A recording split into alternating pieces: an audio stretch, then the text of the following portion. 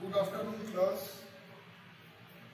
जैसा कि हम लोग database management system discuss कर रहे थे, और आज आपका अगला टॉपिक ये है कि overall structure of database overall structure कह लीजिए ओवरऑल आर्किटेक्चर कह लीजिए तो इसके बारे में हम बात करेंगे। कुछ पहले हम कुछ थ्योरी समझेंगे, और फिर उसके बाद ये ब्लॉक डायग्राम है।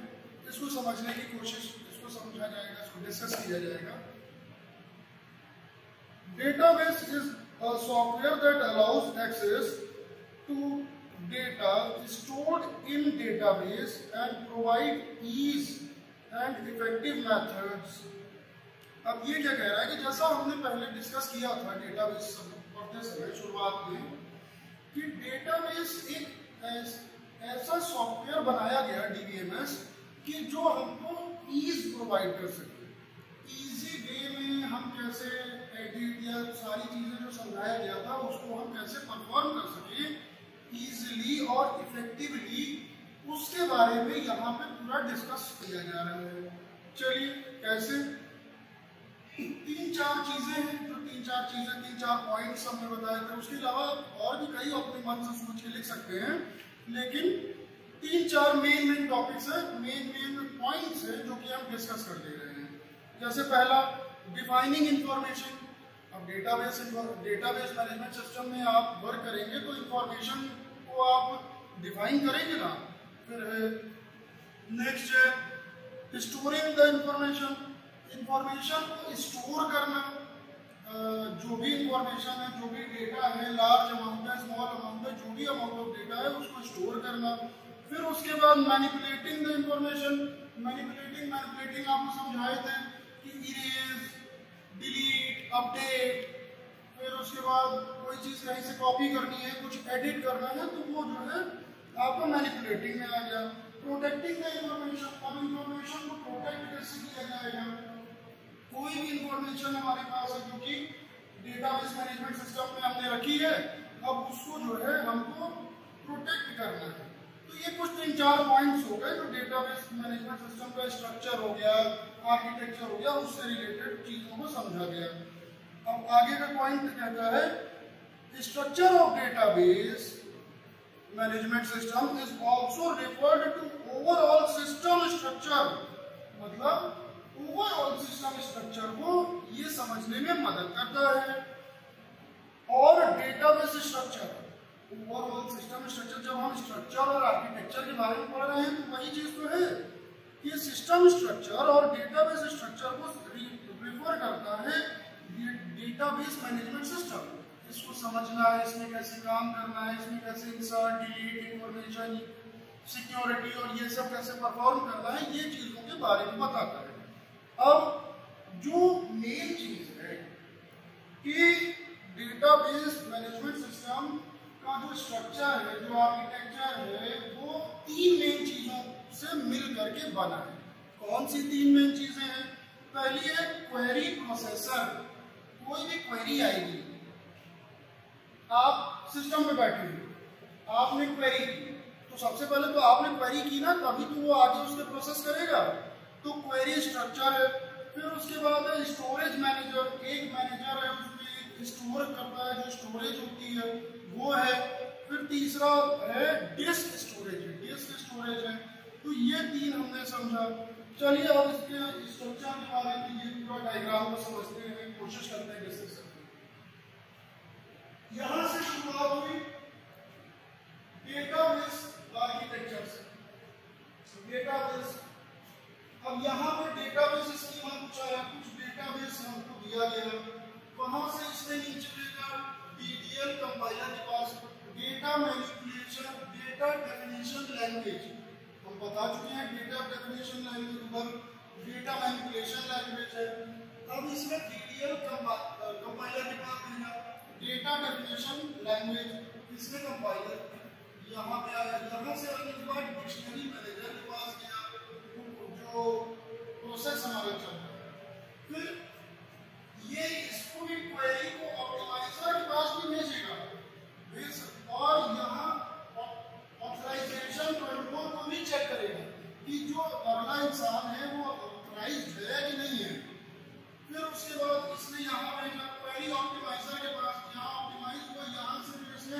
कमांड प्रोसेसर के पास भी ये भेजेगा फिर नीचे आया फिर यहाँ पे शेड्यूलिंग हुई शेड्यूलर के पास भेजा शेड्यूलर ने यहाँ भी चेक किया फिर ट्रांजैक्शन मैनेजर को भेज कर वहाँ ट्रांजैक्शन भी चेक कर लिया। अब नीचे गया यहाँ पे रिकवरी दिखाई दे रहा ना? रिकवरी मैनेजर रिकवरी होगी, क्या होगा, उसके बाद भेजा इसने जो है बफर मैनेजर के पास भी भेजा अब यहाँ पे यूज़र वाला आ जाता है। यहाँ पे क्वेरी आई। क्वेरी के बाद क्वेरी प्रोसेसर के पास गया। क्वेरी प्रोसेसर के बाद आने के बाद ऑथराइजेशन कंट्रोल के पास गया। ये इसको भी भेजेगा ये दोनों क्रॉस चेक करेंगे। चाहे यहाँ से आएगा, चाहे इधर से आएगा, दोनों एक दूसरे को क्रॉस चेक करेंगे। फिर उसके बाद ये भेजेगा कमांड प्रोसेसर के पास। कमांड प्रोसेसर के पास भेजने के बाद कमांड प्रोसेसर इसको भी भेजेगा। उसी तरह प्रोसेसर यहाँ डेटा कंपाइलर के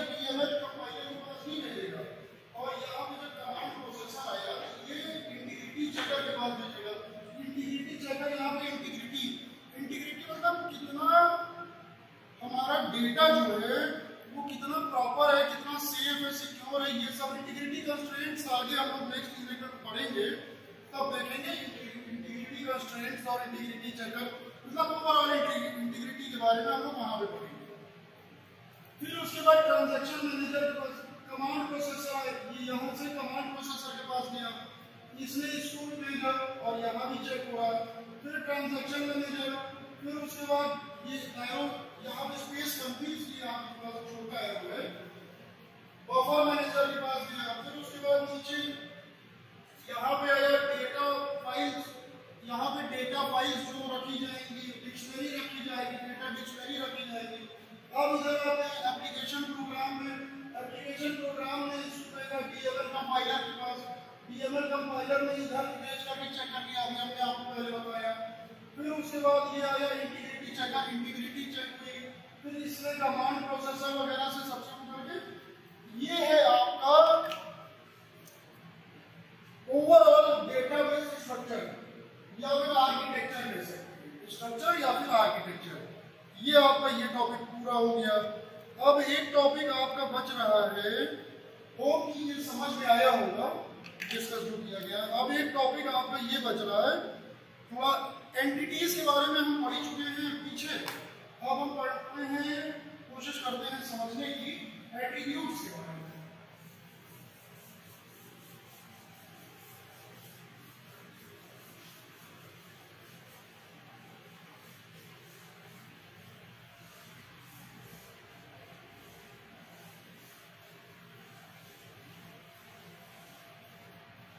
चलिए, अब नेक्स्ट क्या है?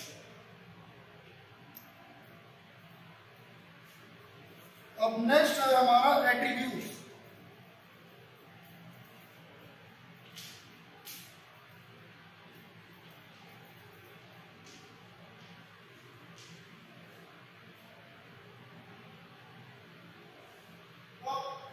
हमने एंटिटी पीछे पढ़ा था एंटिटी में जब हम ईआर डायग्राम बनाते थे तो ईआर डायग्राम में एंटिटी बनती थी रिलेशनशिप होता था फिर उसके बाद ऊपर जो सर्किल इलेक्सेस वगैरह वाले थे उसमें आपके अलग अलग एंटिटी के कितने हैं क्या है? तो वो एट्रीब्यूट्स हम लोग आज डिस्कस करते हैं। तो एट्रीब्यूट क्या कहता है? Each attribute have a set of permitted values मतलब हर एट्रीब्यूट के परमिटेड वैल्यूज़ के सेट होते हैं। कॉल्ड डोमेन जिनको हम डोमेन कहते हैं, या फिर वैल्यू सेट भी कहा जा सकता है। मतलब हर एट्रीब्यूट का एक सेट ऑफ़ परमिटेड वैल्यूज़ होता है, जिसको हम डोमेन या वैल्यू सेट कह सकते हैं। ठीक है? जैसे फॉर एन एग्ज़ाम्पल देख लेते हैं। कस्टमर नेम जैसे कि the domain of attribute might be set of strings मतलब जो एट्रीब्यूट का डोमेन है, वो सेट ऑफ़ स्ट्रिंग्स भी हो सकता है। कैसे? एग्जांपल के तौर पे कस्टमर नेम हो गया या फिर आ, दो का सेट हो सकता है कस्टमर नेम हो सकता है। अगर उसने कोई लोन लिया है तो कस्टमर का लोन नंबर हो सकता है। इस तरह हो सकता है। ठीक है ये समझ गए होंगे हो अब है अगला अब इन एट्रीब्यूट से भी कुछ और एट्रीब्यूट्स है अंदर। जैसे अगला है सिंपल एट्रीब्यूट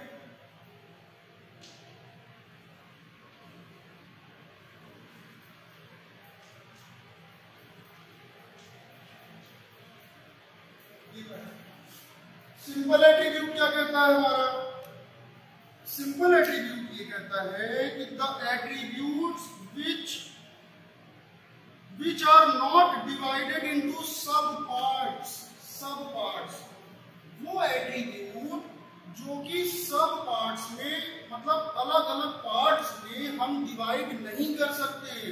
कैसे? चलिए वो भी एक एग्जांपल लेकर के समझने की कोशिश करते हैं हम।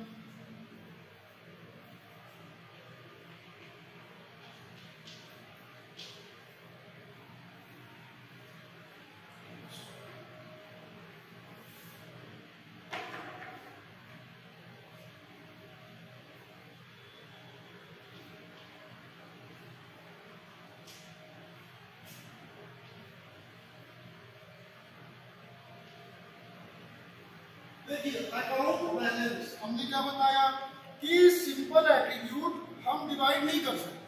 अकाउंट बैलेंस है तो उसको किसी, मेरे अकाउंट में मान लीजिए दस हज़ार रुपए अब उस दस हज़ार को वो चार जगह तो लिखेंगे नहीं कि ढाई हज़ार ये यहाँ है, ढाई हज़ार ये ढाई हज़ार ये एक ही बैंक में है, दस हज़ार है तो दस को चार बार तो नहीं लिखेंगे ना वो दस ही हज़ार लिखेंगे। तो इस तरह ये अलग नहीं किया जा सकता, इसको अलग अलग पार्ट्स में डिवाइड सब पार्ट्स में नहीं किया जा सकता। ये है सिंपल एट्रीब्यूट चलिए नेक्स्ट है अपना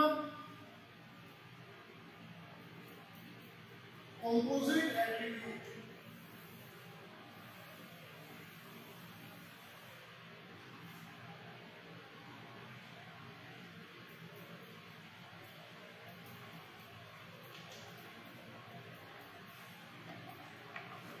अब composite attribute can be divided into sub parts मतलब वो एट्रीब्यूट्स जो कि अलग अलग सब पार्ट्स में डिवाइड हो सकते हैं। कैसे? जैसे मान लीजिए किसी का नाम। एग्ज़ाम्पल हम देख रहे हैं।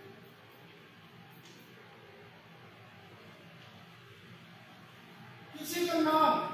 अगर किसी का नाम है किसी का फ़र्स्ट नेम होगा, मिडिल नेम होगा, लास्ट नेम होगा तो इस तरह हम डिवाइड कर सकते हैं। First name middle name last name ठीक है? तो ये इसका बैलेंस हो गया एग्ज़ाम्पल हो गया। अब है नेक्स्ट हमारा है single value attribute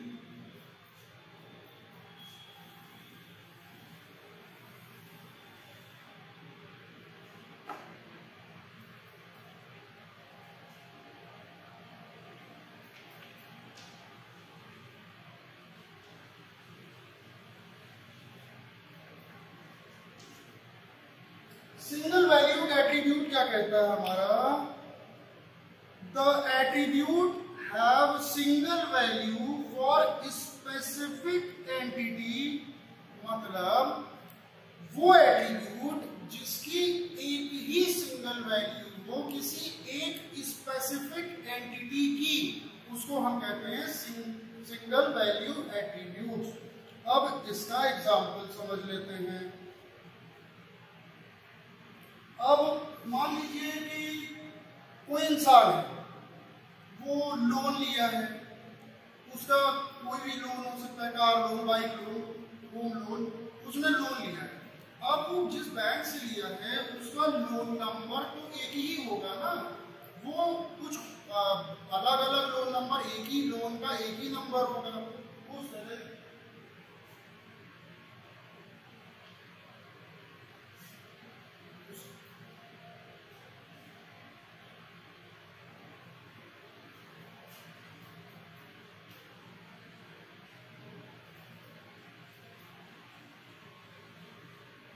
ये इसका सिंगल वैल्यू एट्रीब्यूट का हो गया। चलिए अब नेक्स्ट देखते हैं। नेक्स्ट है हमारा multi valued attribute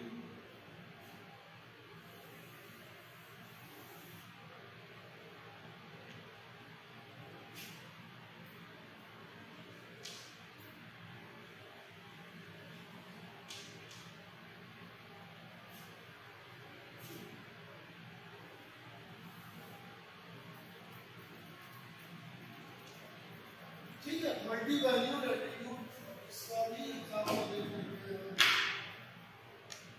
multi valued attribute क्या कहता है हमारा attribute which may have many values मतलब कोई ऐसा एट्रीब्यूट जिसकी कई सारी वैल्यूज़ हो सकती हैं। फॉर एन एग्जांपल मान लीजिए मोबाइल नंबर मोबाइल नंबर मान लीजिए कि एक कस्टमर है, उसके चार मोबाइल है। तो चार मोबाइल के चारों नंबर वो अपडेट रख सकता है अपने बैंक अकाउंट के साथ। तो ये आपका एग्जांपल लिख देते हैं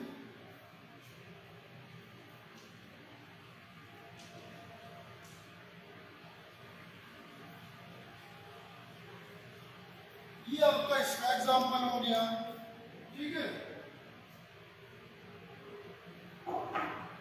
होप कि आप लोग को समझ में आ रहा होगा। नेक्स्ट है हमारा डिराइव्ड एट्रीब्यूट डिराइव्ड एट्रीब्यूट क्या कहता है?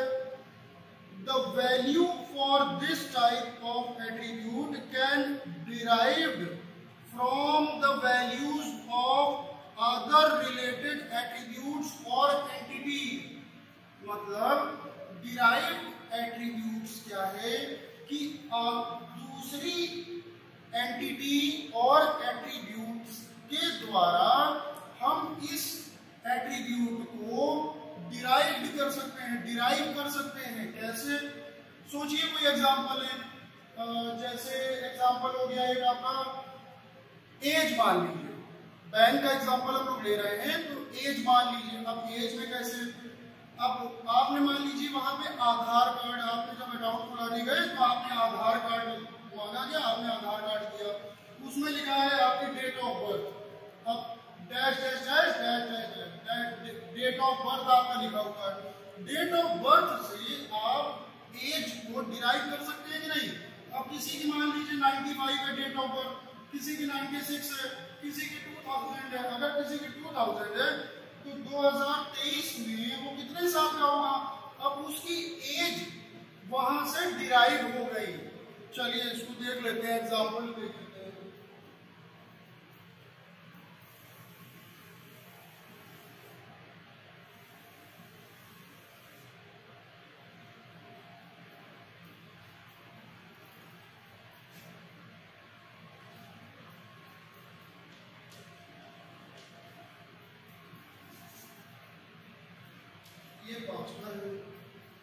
इसका एग्ज़ाम्पल हमने क्या बताया था?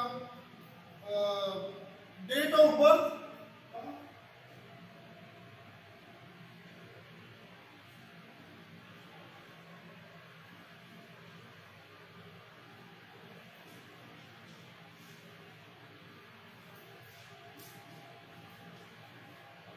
किसी की डेट ऑफ़ बर्थ हो गई, आप वहाँ से उसको डिराइव कर सकते हैं। तो होप क्लास की ये आपको समझ में आया होगा तो आज अपनी क्लास यहाँ पे ओवर करते हैं। मिलते हैं तब तक। नेक्स्ट क्लास में।